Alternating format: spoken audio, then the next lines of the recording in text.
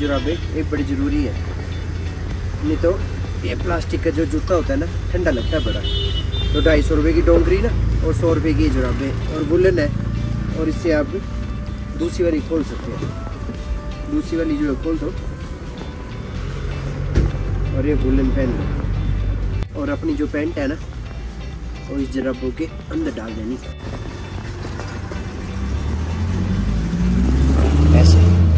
और फिर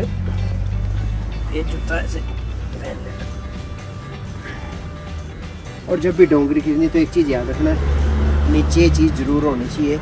इससे क्या होता है, बिल्कुल टाइट हो जाता है ना, और जब आप बर्फ़ के अंदर पैर रखते हैं तो ये ऐसे ऊपर नहीं होता है, और अंदर के कपड़े गिले नहीं होते हैं। तो याद रखना, ये चीज़ बड़ी ज़रूरी है, ये वाला जो है। ग्लव्स भी ले रहा हूँ मैं। क्योंकि साढ़े तीन हो चुकी है और ठंडा होगा बड़ा ज़्यादा ना। रिंकिया के पापा ही ही ही ही चलो दोस्तों डोंगरी ले ली है पूरी और गाड़ी की चाबी आ गई है। सोल गार्डन के बिल्कुल साथ है। शॉप नंबर 217 यहाँ पे आए। और डोंगरी देखिए कितने अलग अलग तरह के हैं। जो कलर जो डिज़ाइन आपको पसंद आता है आप वो ले सकते हैं।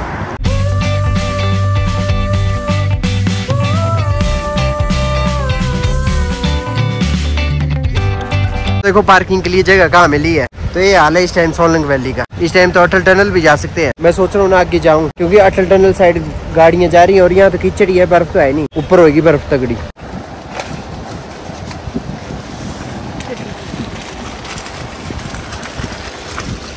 चलते हैं। सोलंग वैली का जो ग्राउंड है फ़ेमस ग्राउंड इसी जगह को सोलंग वैली बोलते हैं। तो देख लो इस टाइम क्या हालत है। बर्फ़ बिल्कुल ना के बराबर है ऊपर ऊपर तो है काफ़ी ज़्यादा ना नीचे नहीं है। नीचे बर्फ़ खत्म है। बारिश की वजह से सारी बर्फ़ पिघल चुकी है नीचे की। कीचड़ है बड़ा ज़्यादा। नीचे करने को कुछ भी नहीं है। मैं सोच रहा हूँ ऊपर ही चलते हैं रोप वे से। दोस्तों तो आप देख रहे हो की मैं इस टाइम सोलंग वैली में हूँ।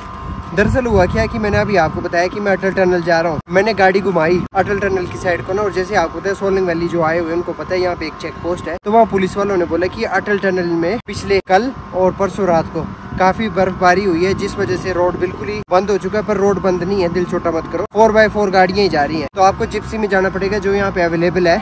तो मैंने प्राइस पूछा जब तो बंदे ने बोला फाइव थाउज़ेंड रुपीज़ लगेगा। मैं लोकल हूँ मैं तो अगले संडे को फिर आ जाऊँगा। मेरे को कोई दिक्कत नहीं है, इसलिए मैं नहीं गया अटल टनल पर अगर जैसे आ रहे हैं आप तो आप प्रिपेयर होके आए माइंड को बिल्कुल सेट करके आए, अपने बजट को टाइट मत कीजिए, थोड़ा खुला रखना पड़ेगा, क्योंकि यहाँ से सोलंग वैली से आगे जाने के लिए फाइव थाउज़ेंड रुपीज़ लग रहे हैं। करंट सिचुएशन ऐसी है। आज जो तारीख है, आज है first April two thousand twenty four तो first April two thousand twenty four को देख लीजिए सोलंग वैली में ऐसे हालात है।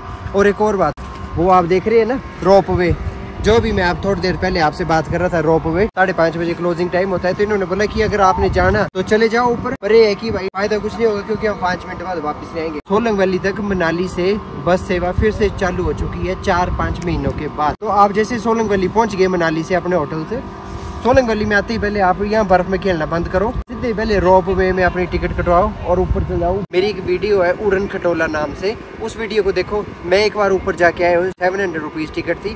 तो आपको लग जाएगा, पता भी ऊपर का व्यू कैसा है। दोस्तों, देख लो मैं नीचे से। कितने नीचे से आ गया हूँ? कहाँ आया हूँ नीचे ग्राउंड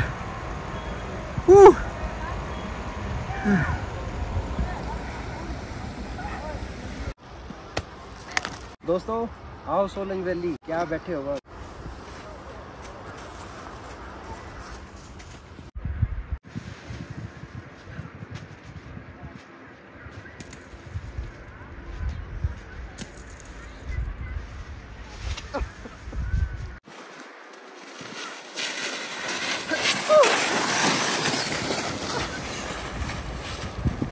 एक एक और. Once more once more once more guys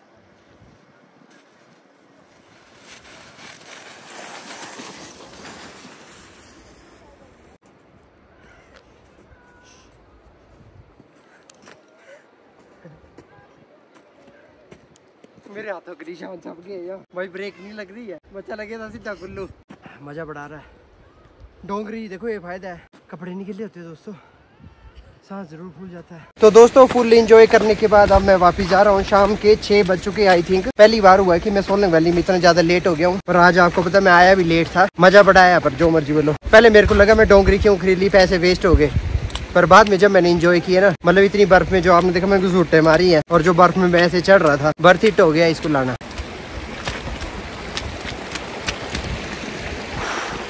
बच गया दोस्तों, फिसल गया था। अब खाएँगे गर्मा गर्म मोमो और पहाड़ की मैगी। मोमो खाएँगे momo. One twenty rupees plate है प्योर वेज है। अभी गर्म हो रहे हैं। रिंकिया के पापा।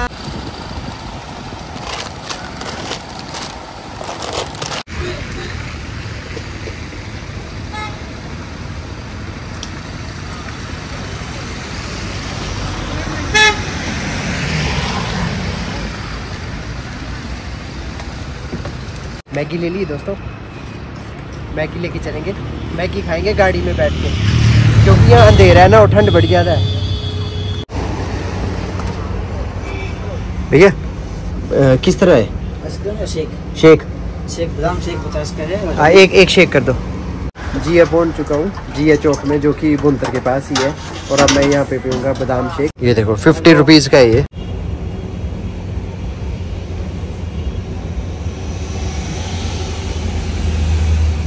ठीक है फ्रेंड्स नेक्स्ट ब्लॉग में आपसे फिर मुलाकात होगी. तब तक के लिए मेरे को और शेख को छोड़ दो. जय हिंद, जय भारत.